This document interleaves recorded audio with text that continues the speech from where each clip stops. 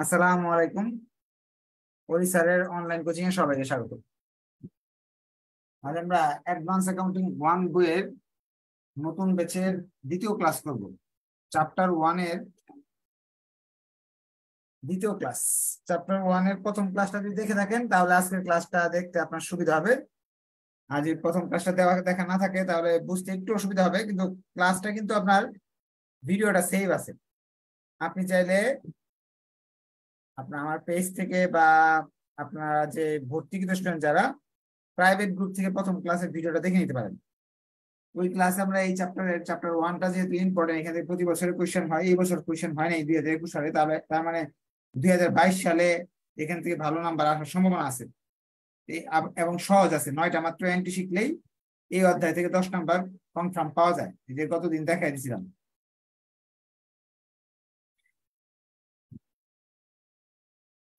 এই নয়টা মাত্র জার্নাল শিখলেই এই অধ্যায় থেকে দশ নম্বর কনফার্ম করা যায়।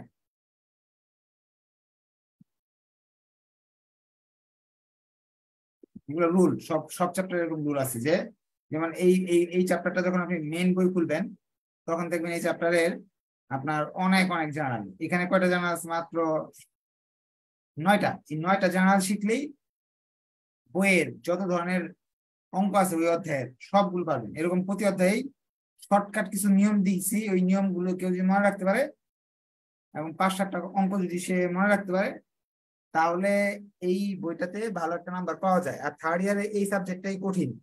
বাকিগুলো মোটামুটি সহজ।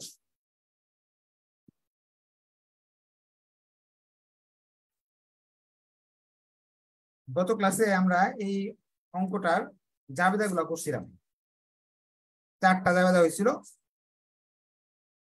জাবেদাগুলো কি ছিল? আমি সংক্ষেপে একটু নিউজ দিয়ে দিই। যদি আগের ক্লাসটা আপনাদের, যাদের করা নাই, তারা এখন যদি অল্প একটু বুঝিয়ে দিলে পরের অংশ বুঝতে সুবিধা হবে।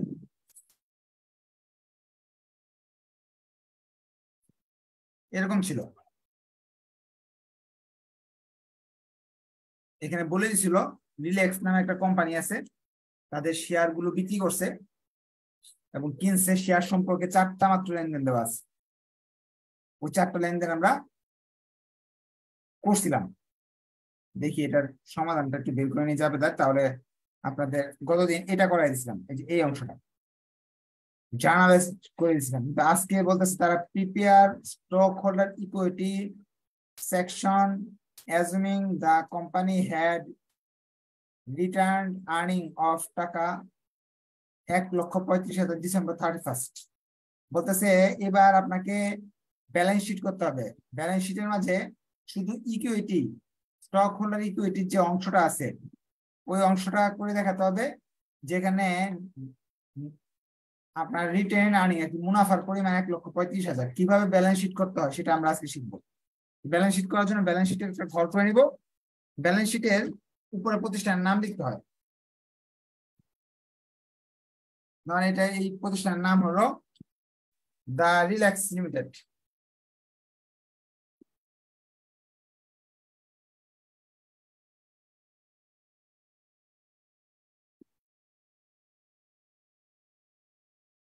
Balance sheet.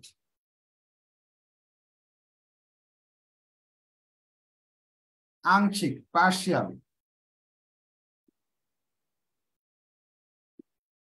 এখানে তারিখ দিবেন। As at thirty first December সাল যদি দেওয়া থাকে, সালটা লিখবেন। সাল যে দেওয়া নাই এখানে। পরে ব্যালেন্স শিটের এরকম একটা ঘর করে নেবেন। ব্যালেন্স শিটের সাধারণত টাকার ঘর দুইটা থাকে।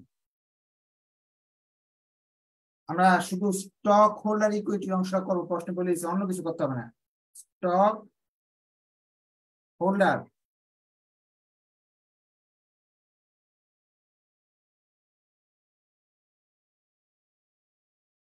equity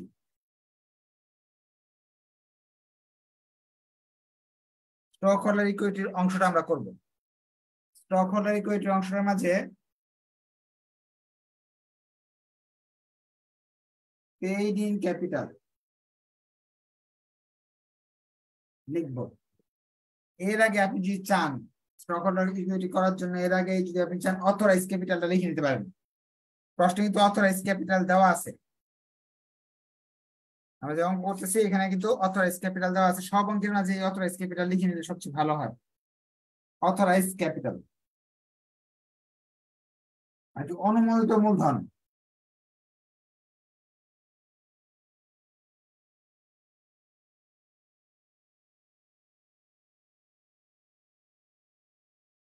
অথরাইজ ক্যাপিটাল কোথায় আছে জানেন? এই জায়গায় আছে। এই যে প্রশ্নের উপরে দেওয়া আছে। এক লক্ষ শেয়ার এক একটা পাঁচ টাকা করে। এটা কিন্তু আমরা দ্বিতীয় রিকোয়ারমেন্টটা করছি শুধু ব্যালেন্স শিটটা করতেছি আজকে। আগের দিন জার্নাল করে আসছিলাম। আজকে জার্নাল না করে শুধু ব্যালেন্স শিটটা করতেছি। এক লক্ষ শেয়ার এক একটা পাঁচ টাকা করে। তাহলে মোট মাঠ তাহলে পাঁচ লক্ষ টাকা হলো। অথরাইজ ক্যাপিটাল হলো পাঁচ লক্ষ টাকা। এটা অঙ্কে দেওয়া না থাকলে তো ভালো, দেওয়া থাকলে তো ভালো, না দেওয়া থাকলেও লিখতে হবে। পাঁচ লক্ষ টাকা। এটা ক্লোজ হয়ে যাবে, এটা অঙ্কে আসবে না, শুধু দেখাবেন। লিখবেন paid in capital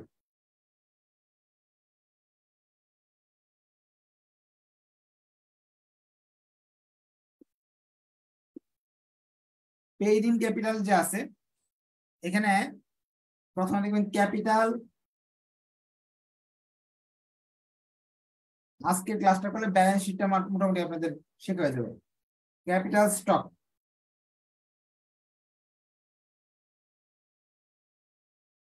common stock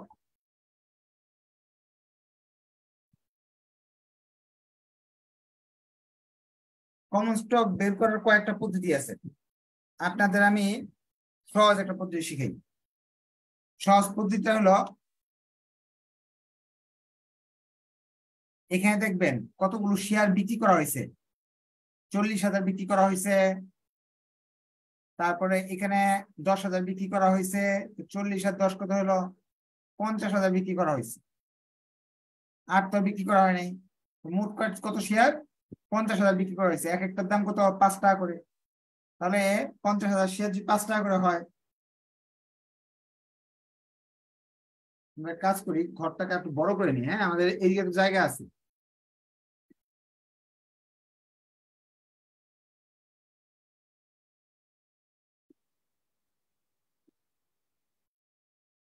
পঞ্চাশ হাজার শেয়ার বিক্রি করছি আমরা, এক একটা পাঁচ টাকা করে দিলে আড়াই লাখ টাকা হয়ে গেল। এইভাবে আপনি বিক্রয়গুলা যোগ করে যতগুলা বিক্রি হয়েছে সেইগুলার সংখ্যা যোগ করে পাঁচ দিয়ে গুণ করলাম, বেড়ে আসলো। এই একটা পদ্ধতি। আরেকটা পদ্ধতি সহজ পদ্ধতি আরেকটা আছে। সেটা করব কি, আমাদের আগে যে জার্নাল করছিলাম না জার্নালটা যাব। জার্নাল ধরেন, তো গতদিন করে হয়েছে আজকে তো আর দেখা যাচ্ছে না। এটা সলিউশন আছে কিনা আমি খুঁজে দেখি। সলিউশন থাকলে ওইখান থেকে দেখাই দিলাম।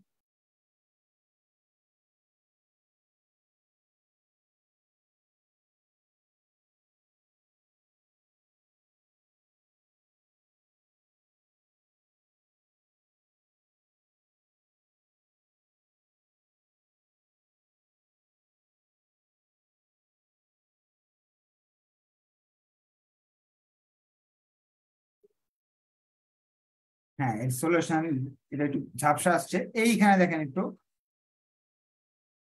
প্রথমে জার্নালে দেখেন কমন স্টক নামে, আমরা তো কমন স্টকের কাজ করতেছি না। কমন স্টক নামে প্রথম জার্নালে দেখেন দুই লাখ টাকা আছে। প্রথম জার্নালে দুই লাখ আছে। এরপর কমন স্টক নামে আরেকটা জার্নাল আছে, ওইখানে আছে পঞ্চাশ হাজার। এছাড়া আরও কমন স্টক আছে কিনা দেখেন তো। এখানে আর জার্নালের ভিতরে আর কমন স্টক নাই। জার্নালের ভিতরে আর কোনো কমন স্টক নাই। দুইটা জার্নালে, একটা প্রথম জার্নালে আছে দুই লাখ প্রথম জানালে দেওয়া ছিল দুই লক্ষ টাকা। এরপরের জানালে দেওয়া আছে পঞ্চাশ হাজার টাকা। দুটা যোগ করলে কত আসে? কমন স্টক বাবদ আড়াই লক্ষ টাকা। এইভাবেও বের করতে পারেন। জার্নাল দেখে দেখেও বের করা যাবে। অথবা প্রশ্ন দেখে কতগুলা শেয়ার বিক্রি করছেন, সেগুলো পাঁচ টাকা করে হিসাব করে টাকাটা নিয়ে আসতে পারেন। যে কোনো এক পদ্ধতিতে করতে পারবেন আপনি। এটা আমাদের প্রথম স্টেপ দ্বিতীয় স্টেপ আপনাকে লিখতে হবে এই যে এক নাম্বার স্টেপ দুই number step additional paid additional paid in capital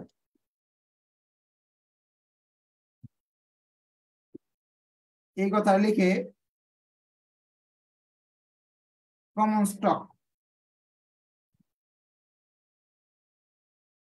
common stock additional paid in capital common stock এটা করতে গেছে জার্নালটা যাইতে হবে, আবার জার্নালে যাই দেখেন তো পেইড ইন ক্যাপিটাল কমন স্টকের টাকা কত আছে? প্রথম জার্নালে দেওয়া আছে এক লাখ বিশ হাজার। দ্বিতীয় জার্নালে দেখেন পেইড ইন ক্যাপিটাল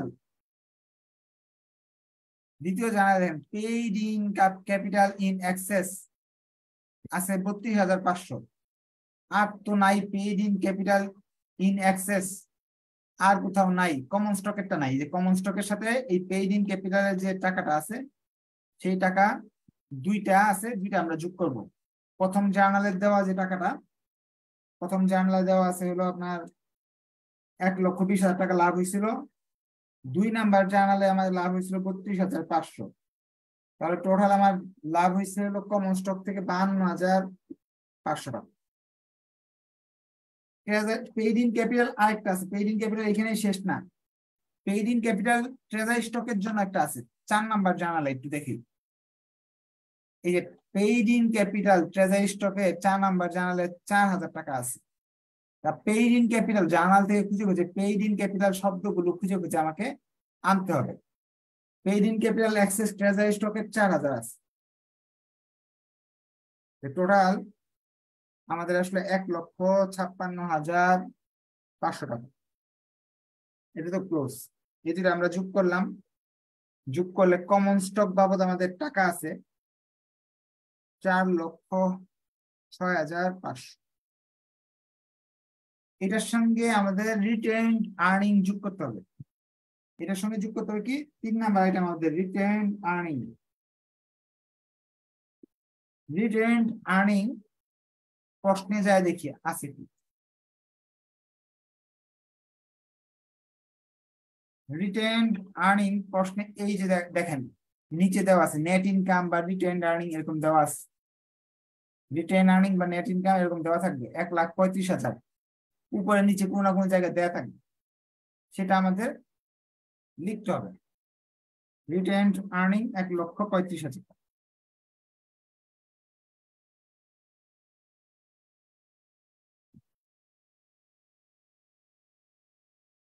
সব যোগ করলাম, আমরা, আমাদের টোটাল টাকা আসতেছে পাঁচ লক্ষ একচল্লিশ হাজার পাঁচশো।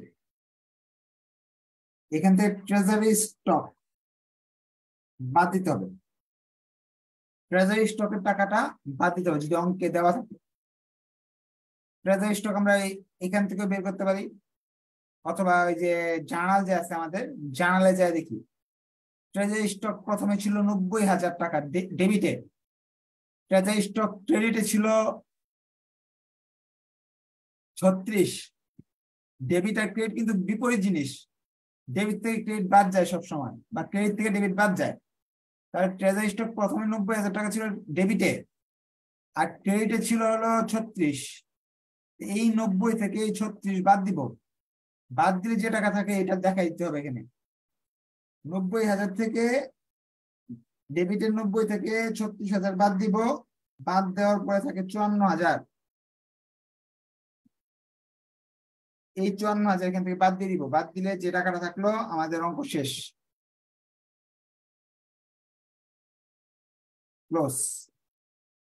এই ছিল একটা ব্যালেন্স শিট শেয়ার হোল্ডার ইকুইটির ব্যালেন্স শিটের একটা নমুনা। চারটা তথ্য আপনাকে খুঁজে খুঁজে প্রতিটা অঙ্কে, যত অঙ্ক আছে এই অধ্যায়ের, এই চারটার বাইরে কিছু নাই। এই এই স্টেপ অনুযায়ী আপনি যদি করেন, তাহলে সম্পূর্ণ নাম্বার আপনি পাবেন। এখন আপনার যদি কোনো কোয়েশ্চেন থাকে, আমি প্রবলেম ওয়ানটা করাতে গিয়ে দুই দিন সময় নিলাম। কারণটা কি জানেন? যাতে আপনাদের জার্নালের যত কিছু আছে, সবগুলো নিয়ম শিখে দিতে পারি এবং ব্যালেন্স শিটের যত ধরনের নিয়ম আছে, সব শিখে দিতে পারি। আমি আরেকবার আলোচনা করতেছি, যেহেতু আপনাদের প্রশ্ন নাই, প্রশ্ন থাকলে হাত উঠে আমার সাথে কথা বলার সুযোগ আছে। হ্যান্ড রাইজ করে বলবেন যে, স্যার, আমার এই প্রশ্ন আছে, বল, বুঝি নেই, বুঝিয়ে দিবেন ইনশাল্লাহ এখানে যে জিনিসটা আপনার খেয়াল রাখতে হবে, একটা অথরাইজ ক্যাপিটাল যদি দেওয়া থাকে লিখবেন, না দেওয়া থাকলে এখানে ডট ডট দিয়ে দিবেন। পেইড ইন ক্যাপিটাল জার্নালের ভিতরে কতগুলো শেয়ার আমি বিক্রি করছি, সেটার সংখ্যা দিয়ে শেয়ারের দাম দিয়ে গুণ করে লিখতে পারেন, অথবা জার্নাল দেখে জার্নালের ভিতর কমন স্টক নামে কয়টা টাকা আছে? সবগুলো টাকা যোগ করে এখানে দেখা দিবেন। দুই number additional paid in capital paid in capital নামে কত টাকা আছে সেগুলো সবগুলো যোগ করে এখানে দেখা দিবেন। ক্রেতা স্টকের হইতে পারে কমন স্টকের হইতে পারে প্রেফারেন্স স্টকের হইতে পারে, বিভিন্ন স্টকেরই পেইড ইন ক্যাপিটাল হইতে পারে। ওই টাকাগুলো এখানে দেখাই দিবেন। পরবর্তীতে রিড এন্ড আর্নিং যেখানে যেখানে আছে ডেবিট থাকলে ডেবিট ক্রেডিট এগুলো যুগ করে যে টাকাটা থাকে, সেটা দেখা দিবেন। সবার শেষে ট্রেজারি স্টক ডেবিট ক্রেডিটের টাকা যুগ বিয়োগ করে যে টাকাটা হয়, এখানে দেখাবেন। তাহলে অঙ্ক হয়ে যাবে। আশা কি বুঝতে পারছেন, না বুঝলে সমস্যা নেই। নেক্সট আরও ক্লাস করাবো। ওই ক্লাসে আপনি কিন্তু কোয়েশ্চেন করতে পারবেন। তাহলে আজকে এই পর্যন্ত থাকল। যারা থার্ড ইয়ারে পড়া এখনও শুরু করেন নাই নতুন যেহেতু বেচ প্রথম চ্যাপ্টার করাচ্ছি হ্যাঁ আপনারা শুরু করে দেন, না হলে এই বছর আর বই শেষ করতে কষ্ট হয়ে যাবে। কারণ আপনাদের থার্ড ইয়ারের সাবজেক্ট বেশি। আবার থার্ড ইয়ারের প্রশ্ন কঠিন হয়। গত কয়েকদিন আগে আপনারা দেখছেন প্রচণ্ড কঠিন প্রশ্ন হয়েছে। আপনাদের ফ্রেন্ডরা যারা এখনও ভর্তি হয়ে লেখাপড়া শুরু করেনি, তাদের বুঝান যে এই বছর কিন্তু আগের বছরের মতো না, যে সাজেশন থেকে হুবহু অঙ্ক কমন আসবে আর আমরা দিয়ে ফেলব, এরকম না। পড়তে হবে অনেক। আজকে এই পর্যন্ত থাকল। ধন্যবাদ সবাইকে। আসসালামু আলাইকুম। নেক্সট ডে দেখা হবে। আল্লাহ হাফিজ। ইনশাল্লাহ